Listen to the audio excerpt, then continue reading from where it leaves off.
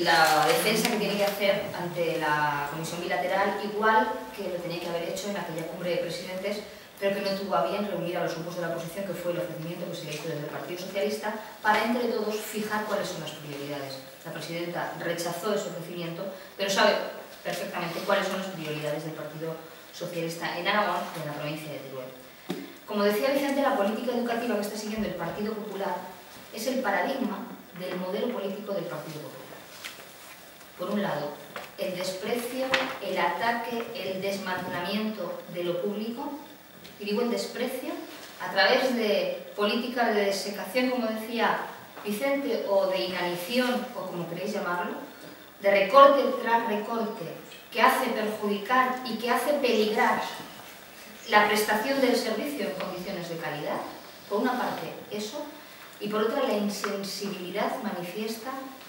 con lo débil, con la parte débil de la sociedad, con las,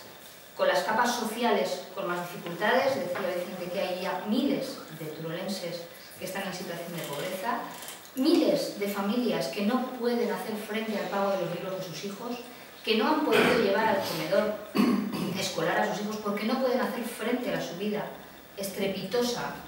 del, del mes y que están arreglándose las familias para poder dar de comer a los hijos de compañeros, es decir, una situación en la que las capas débiles están sufriendo exactamente igual que los territorios, que son aquellos que tienen menos capacidad por sí solos, de menos músculo, menos recursos para poder salir adelante. Insensibilidad con las partes más débiles de la sociedad, ya sea social, ya sea territorial, y desprestigio de lo público. En educación es absolutamente manifiesto, un recorte brutal de profesorado que se hace todavía más evidente en las zonas rurales, en los CRAS, en los colegios rurales, que están teniendo una merma de profesorado, un aumento de alumnado por aula, con dificultades y con necesidades especiales y con distintos niveles que les hace prácticamente imposible poder atender a los críos como necesitan. Ayer me contaba una directora de un centro que prácticamente lo que hacen es, sobre todo en los niveles más pequeñitos, hacer de guardería. No les da tiempo prácticamente a poder atender porque tienen entre 8 y 9 niveles educativos. Eh, la situación a, las que, a la que está llevando la educación la señora Rudy es absolutamente inaceptable y por eso tiene cada día protestas en la calle.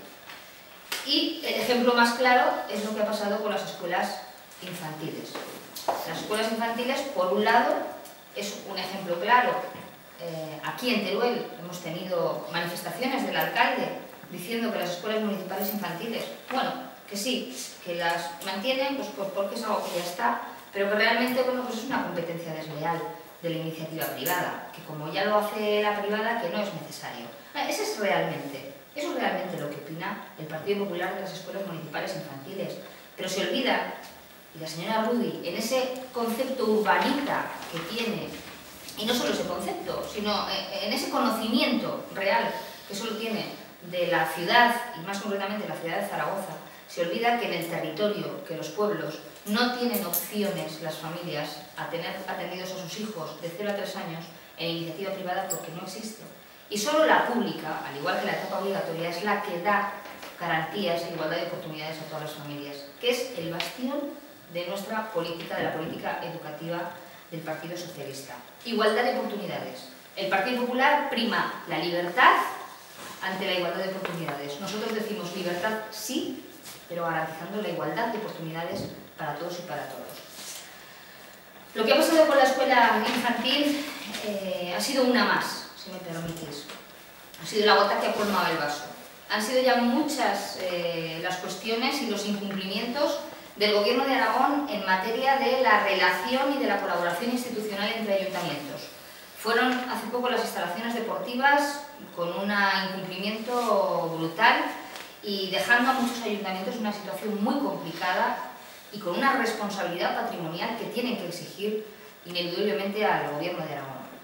Pero las escuelas infantiles, eh, fíjese, han tenido dos, etapas. Eh, en mayo de este año,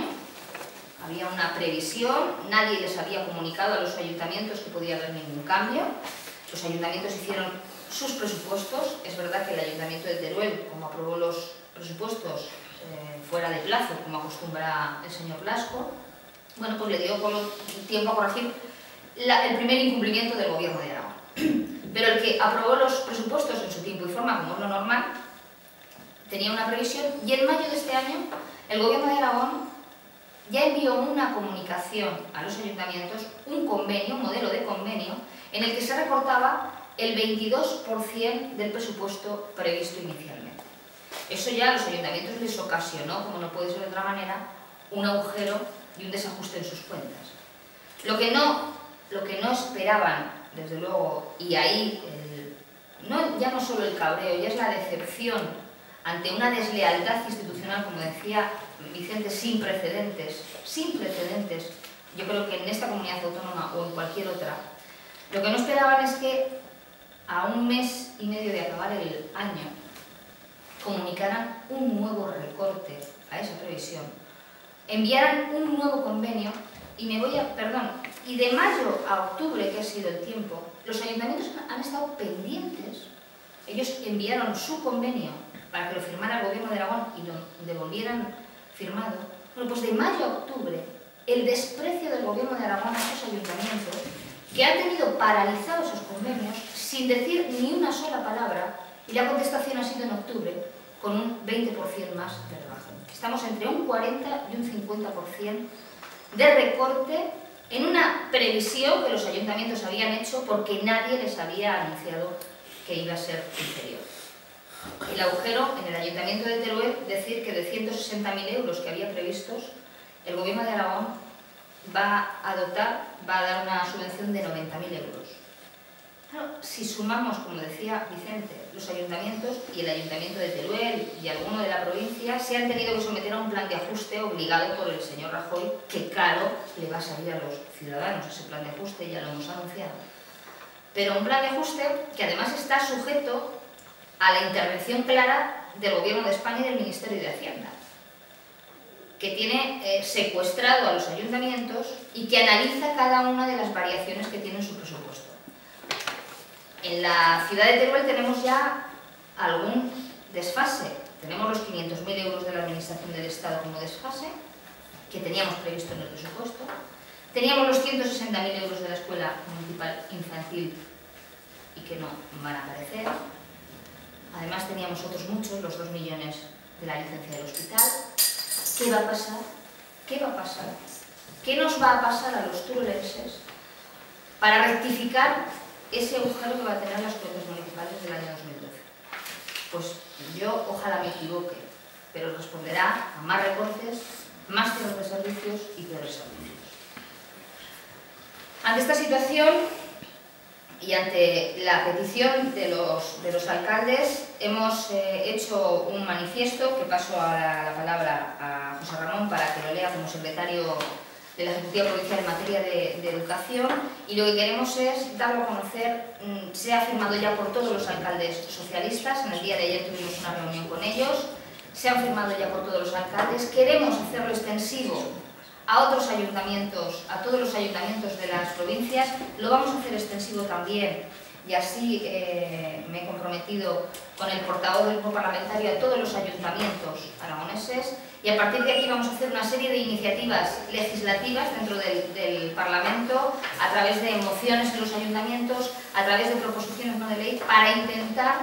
poner sentido común, una palabra que les gusta decir a algunos dirigentes políticos, sentido común a una locura desorbitada que está provocando el Partido Popular con sus políticas y con su desprecio al territorio y a lo público en este caso.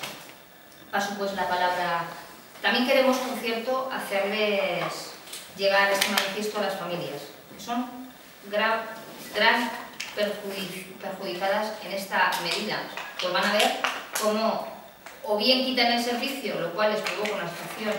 eh, difícil, o van a tener que pagar ese 40% más que eh, las administraciones están dejando de pagar. Eh, bueno, pues vamos a hacer una defensa contra y vamos a estar al lado de las familias defendiendo un servicio que se ha reconocido como válido, como éxito